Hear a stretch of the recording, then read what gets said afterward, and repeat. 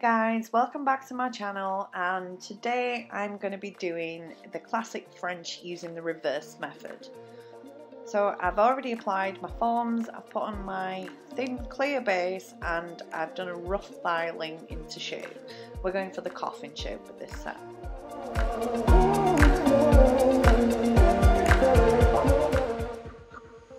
So for this set I'm using Shades of Shimmer Cover Up for the cuticle bead and um, Lily Whites for the white.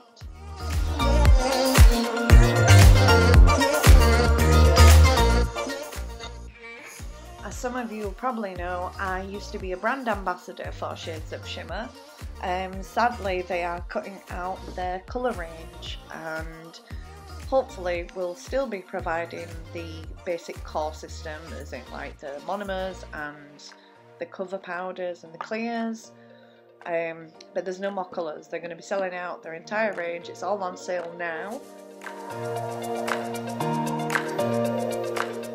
So if you want to head on over and check it out, it is shadesofshimmer.co.uk.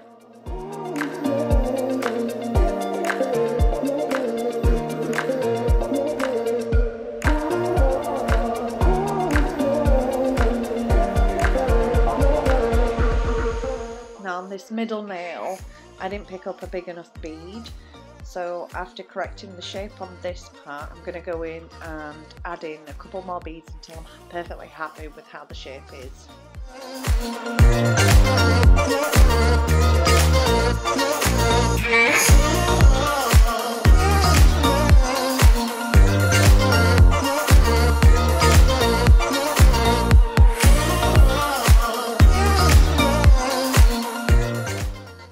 Wasn't quite happy with how the bead was, uh, what's the word, like full at the top. Um, so I'm adding in one more to the left and one more to the right just to widen out just at the cuticle just a little bit more.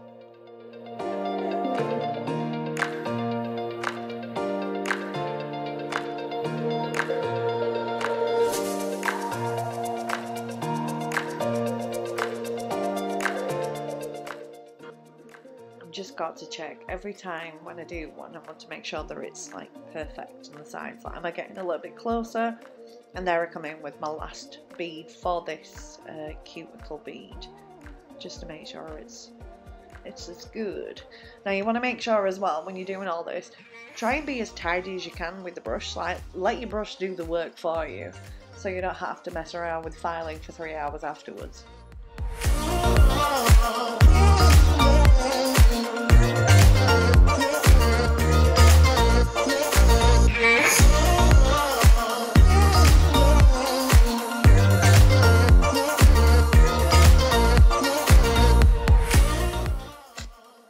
After doing all 10 fingers, you want to come back in and you want to use a 180 grit file for this.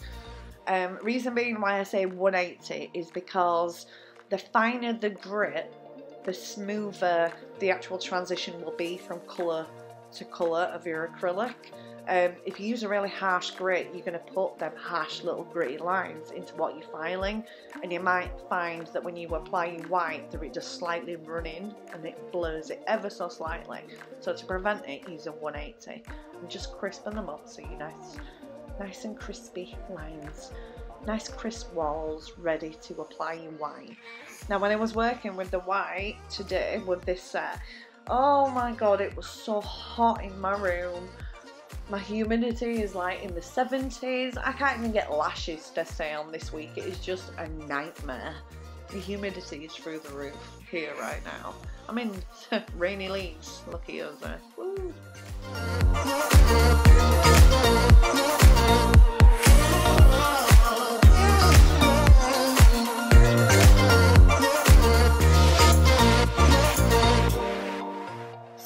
As you've got a nice crispy line with your cover for your cuticle area, your free edge, it doesn't really matter how sloppy you are with it. Um, just make sure that you've got it in all the places that you need it to be. Um, I don't really waste any time trying to be neat and tidy going around it because I'm just going to file it with an electric file after to bring through them really clear lines, which you'll see just after this clip. So keep watching.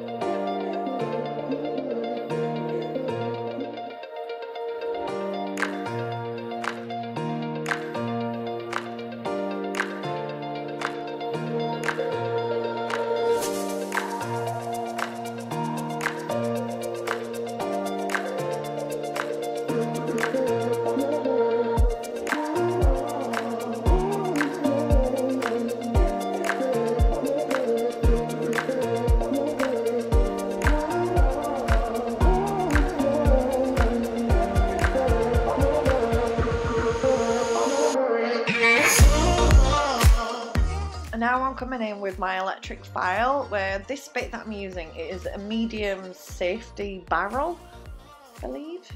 Um, but it's an old one. It's one that I specifically it's one that I specifically keep just for this kind of stuff. So it's, it's only ever used for like filing in blocking designs or stuff like this.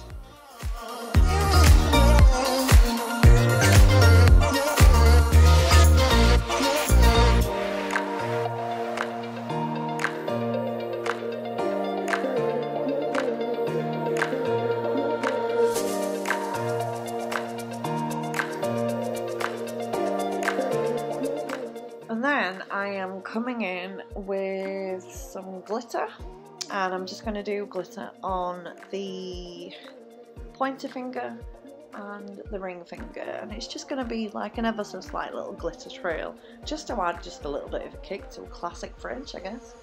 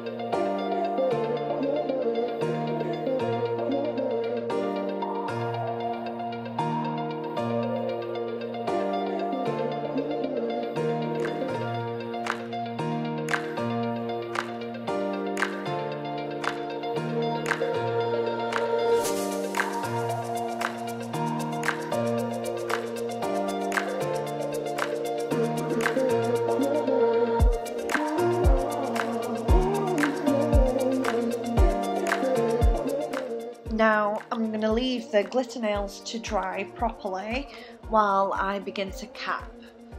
Um, coming in with a clear to make sure that I have the apex in the right place and my structure is sound. And then after doing all 10 nails like this, then I'll come in and I'll do my filing and make sure everything's nice and crisp and ready for top coat love.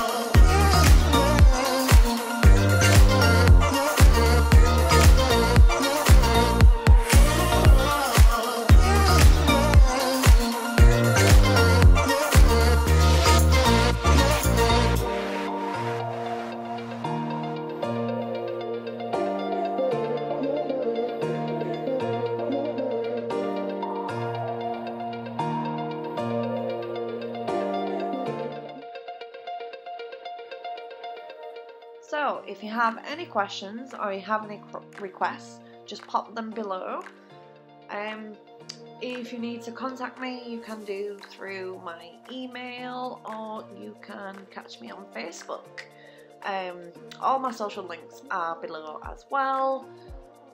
Um, thank you again for joining me for my video number two. um, um, if you haven't already, subscribe and give me a big thumbs up, and I'll see you in the next one. Bye!